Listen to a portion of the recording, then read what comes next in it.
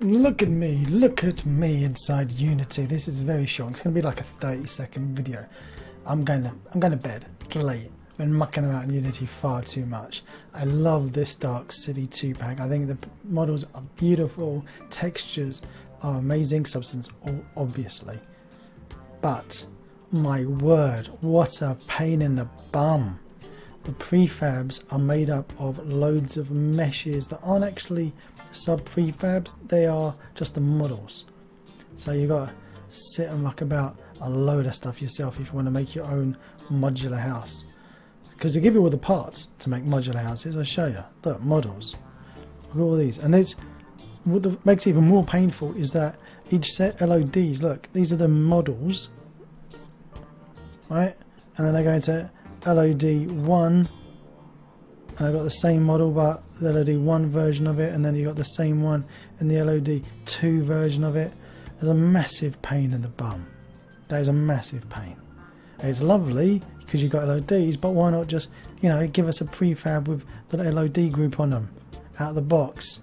I'd have to sit there and make prefabs myself. Out this, this set 1, look how many models there are.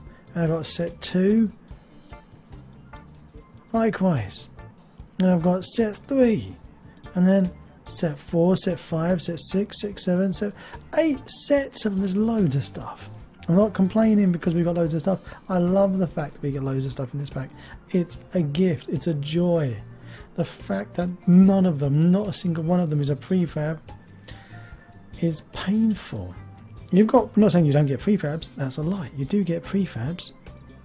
Look, I didn't say you don't get prefabs. I'm just saying the prefabs that you want to be able to build that building don't exist. You've got pre-made buildings, and that's where this little fella comes in. So if I look at this building three, right, I'll pop him open. Look at this. See all these in here? Look at that. None of these are actually prefabs, they're all just the models put together.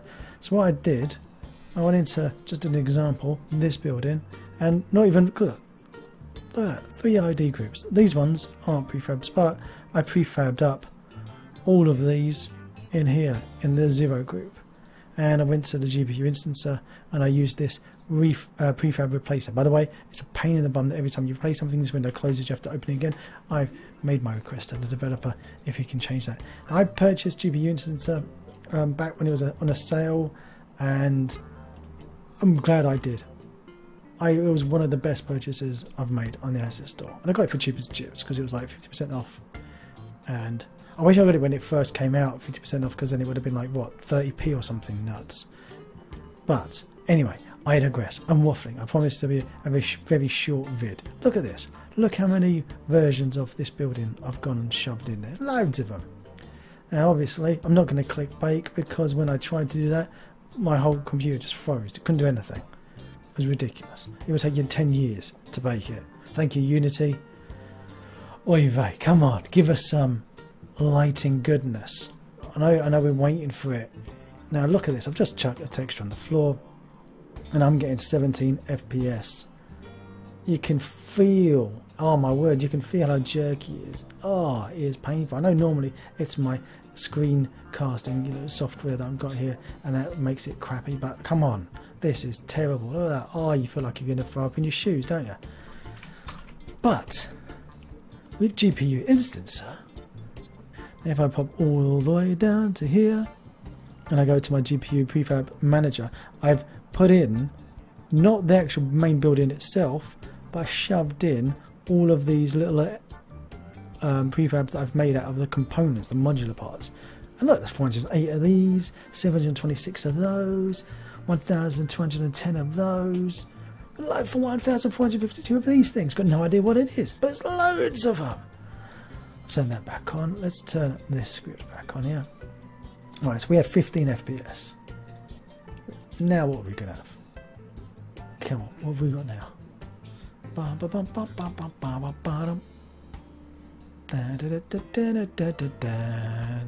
15 up to 220 and I'm happy. Yeah, I'm happy.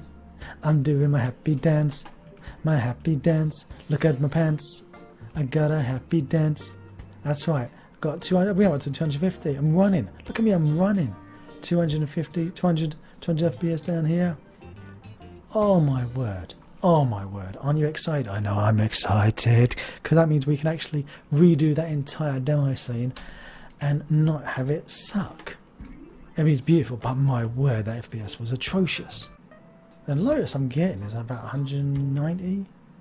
180, here we go, 180. Oh, I saw some 170s. I thought I saw 170. I was like, oh, 170. That's appalling. How bad that FPS is. 170. He's got greedy. Got greedy. We've gone back up to 230s. This is a 500 by 500 map. 500 by 500 map, full to the brim of this house.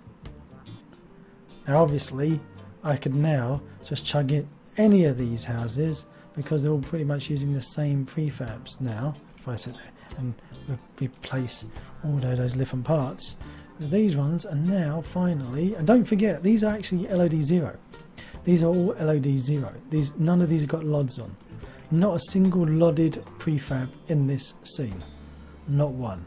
Not one lodded prefab. Every single one of them is the highest res prefab, which is, uh, I think this here was 125,000 tris. Something mental like that. So that's that's what I mean, not it was this one. There was another one. There, one of, there was one of them was that showing you 125,000. I can find it. Let's find where it was. Let's find where you are, little badger, like a star. You can tell I'm excited. Can't you? I had to sing to myself. Right, here it is. So open prefab. What have we got in here? Oh no, don't worry. This one's only 20,000. Okay. And which one was the one that was mental? There was one of them that was, I think it was this one. Um, this card changes in this prefab. What about you? 76,000. Where was it? One of these, it's one of these badges. Can't remember which one it was, but it was crazy. It was truly nuts. Maybe this one. Yeah, here we go. 125,000. 125,000 wonderful triangles on this one here with 310 windows. I can't wait to see what this badge is going to be like once we start shoving him in this. In, can you imagine in a 500 by 500 world? Don't save. got changes. Having a load of those all over the place. Let's have a look. This. Can you imagine this filled up with these little badges? 125,000 tris in them filling up. I think your computer might explode. You might well explode. The next thing we're going to do is, well, not right now because it's late. I'm going to sit and redo exactly the same thing that I did, but for this one. Okay, this 125,000 tris building that's put together. Oh, loads. Look at all these it's put together. That's going to take. Oh my word. This is going to take a while to sit and replace all of these. Let's close these ones. Look at this is what I turn about the colliders. See, they're all just load of box colliders put together, which is nice because box collider performance, lovely. Which is odd. It's like he actually took a really big care of the performance when mucking about with colliders. No mesh colliders. Everything's multiple box colliders. Uh, bizarre. Truly, truly bizarre. It's like um, one minute is going like, oh, we got about performance, which I really appreciate, and then the next minute is gone, you know what, sub performance, this just looks too beautiful. You gotta see how lovely it looks. So uh, just give it like a brief little GPU instance. So you go to this prefab replacer. I love this prefab replacer. And so if I was gonna, let's find one of these little things. Do I have one of them here? Um, not too. No, this is look. This is set three, and I've got set one. So if I searched, say, got nothing in there. But if I just change that to a three, here we go. So I would grab all these here, and then they would come up in this little window, and then I would drag in my prefab for like this, for example, uh, I'll turn this bit off because I want to keep the names and then bang replace with prefab and then I'm going to click cancel because I don't want to do that. And I've turned autosave off because that's really annoying. I didn't realise that was there. I kept I was going oh I have to click undo. I don't like the fact that it keeps on saving. So yeah turn that off. Just be safe. And that was it. I mean, you got to do that repeatedly for all of the different meshes that are in this prefab. And my word that'll take ages. Take ages. But we'll do you want me to video that or I've just described it? There's no point me doing a video because I've just described what I did really? Haven't I? Just described it. So what's the point of doing a video of me doing it? You're going to fall asleep watching it. But I don't know. Maybe maybe you need help sleeping.